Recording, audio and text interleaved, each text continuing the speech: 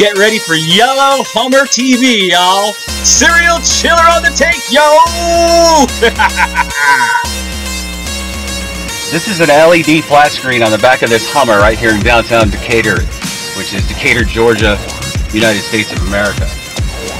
So right across from the parked at the Waffle House and across from the courtroom in downtown square, you got this guy that parked over here. It's just a flat screen LED. Guess it's an advertisement situation.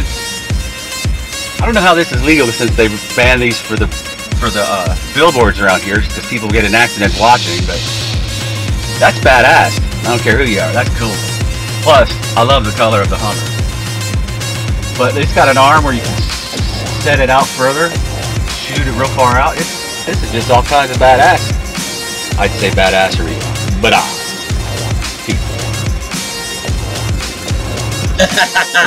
Thanks for watching our videos. Don't forget to like, share, and subscribe. Ding that little bell to give you notifications on all our new videos. As always, pay attention to your surroundings. Look out for deer, and I love you.